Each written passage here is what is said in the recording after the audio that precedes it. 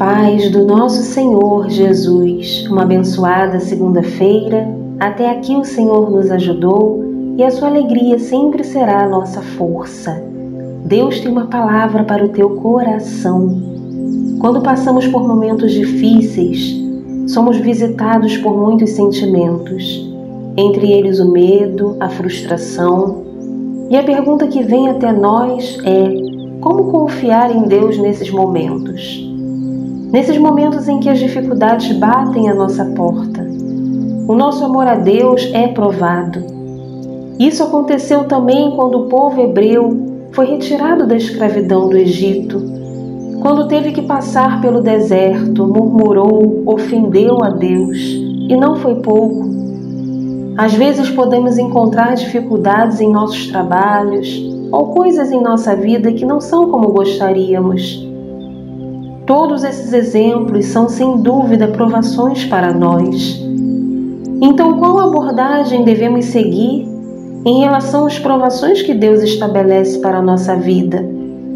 E quando as provações nos atingem, qual é a vontade de Deus? Quantas pessoas passam por dificuldades financeiras? Quantas pessoas não conseguem honrar seus compromissos, até mesmo os mais básicos para a sua sobrevivência? Olha, filho, olha, filha, lembre-se que a providência divina é algo que sempre podemos esperar. Toma posse no que Deus vai realizar na tua vida. É algo que irá comprovar essa certeza. Deus organiza situações para nos testar. Do lado de fora, pode parecer que essas provações estão em desacordo com as nossas noções e que são difíceis de entender pois essas situações nos causam dor, tormento.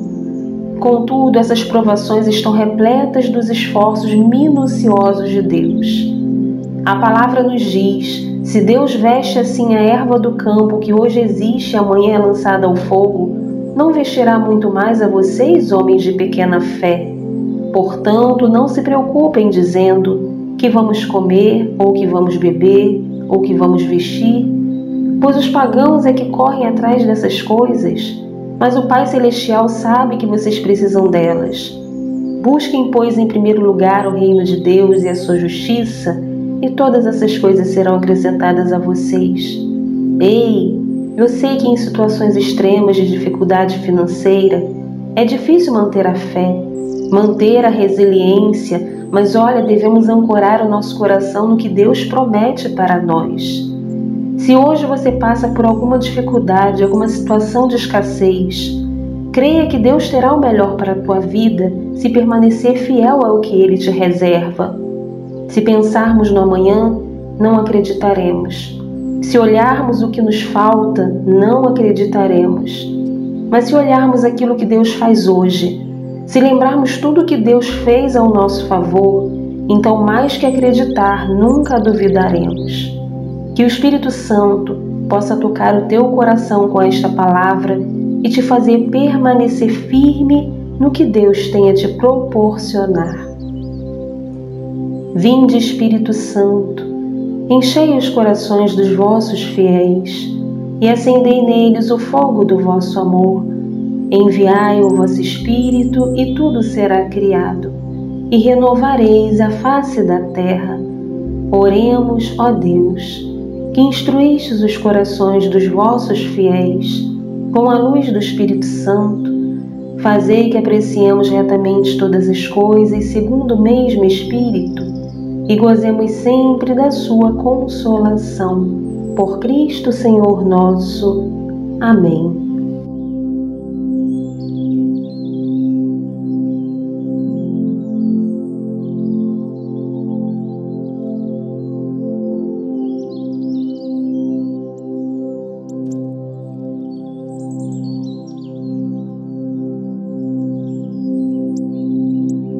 Naquele tempo, quando soube da morte de João Batista, Jesus partiu e foi de barco para um lugar deserto e afastado. Mas quando as multidões souberam disso, saíram das cidades e o seguiram a pé. Ao sair da barca, Jesus viu uma grande multidão, encheu-se de compaixão por eles e curou os que estavam doentes. Ao entardecer, os discípulos aproximaram-se de Jesus e disseram: Este lugar é deserto e a hora já está adiantada.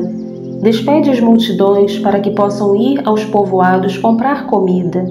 Jesus, porém, lhes disse: Eles não precisam ir embora. Dai-lhes vós mesmos de comer. Os discípulos responderam: Só temos aqui cinco pães e dois peixes. Jesus disse: Trazei-os aqui. Jesus mandou que as multidões se sentassem na grama. Então pegou os cinco pães e os dois peixes, ergueu os olhos para o céu e pronunciou a bênção. Em seguida partiu os pães e os deu aos discípulos. Os discípulos os distribuíram às multidões. Todos comeram e ficaram satisfeitos, e dos pedaços que sobraram, recolheram ainda doze cestos cheios e os que haviam comido eram mais ou menos cinco mil homens, sem contar mulheres e crianças. Palavra da salvação. Glória a vós, Senhor.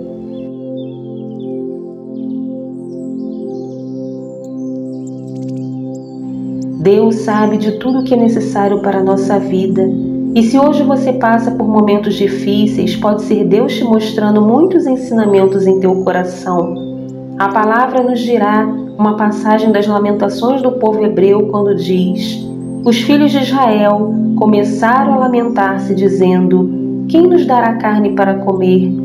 Vem-nos à memória os peixes que comíamos de graça no Egito, os pepinos e os melões, as verduras, as cebolas e os alhos. Aqui nada tem gosto ao nosso paladar, não vemos outra coisa a não ser o maná. Filho e filha, Devemos ser gratos ao pouco que temos e muito mais Deus nos dará. A providência de Deus jamais deve ser vista como arbitrária, mas como perfeita e agradável. O apóstolo Paulo estava falando da providência de Deus quando escreveu que todas as coisas cooperam para o bem daqueles que amam a Deus, daqueles que são chamados segundo o seu propósito. A providência divina não consiste em grandes milagres, e sim em graças derramadas em nós todos os dias.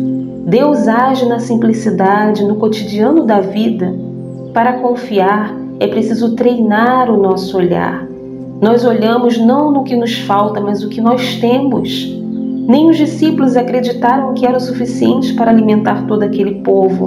Porém, ao contrário de todas as expectativas, Jesus multiplica.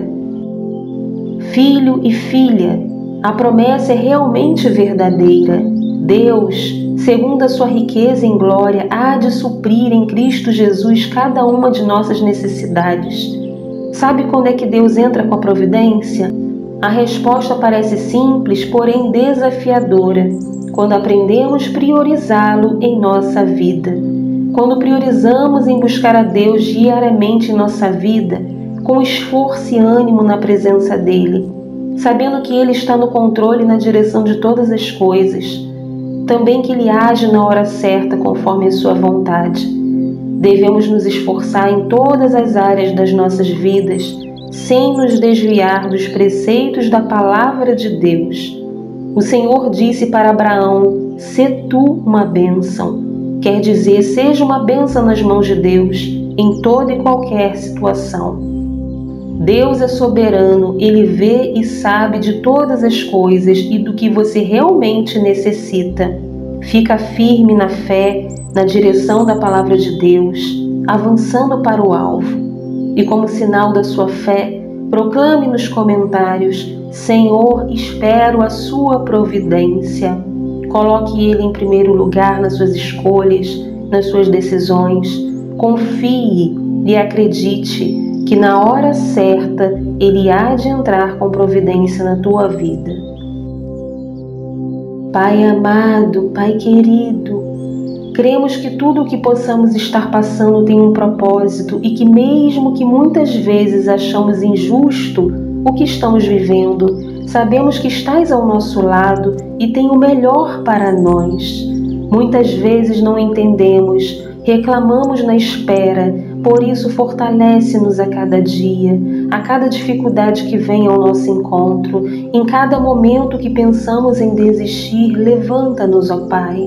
Somos o povo escolhido por Ti e a nós colocou o seu amor e o seu agrado. Que a nossa fé seja que tens reservado muitas promessas boas para a nossa vida e que as provações que porventura ainda estamos passando não serão dignas sequer da nossa lembrança. Obrigada, Senhor, por mais esta palavra que nos visita e nos alimenta em mais um dia. Louvado seja o nome do nosso Senhor Jesus Cristo, para sempre seja louvado. Queridos irmãos, compartilhem esta palavra, façam parte da obra do Senhor. Muito obrigada pela tua presença aqui. Que a paz de Jesus e o amor de Maria esteja sempre contigo. Até o nosso próximo encontro, se o Senhor assim permitir. Que Deus te abençoe.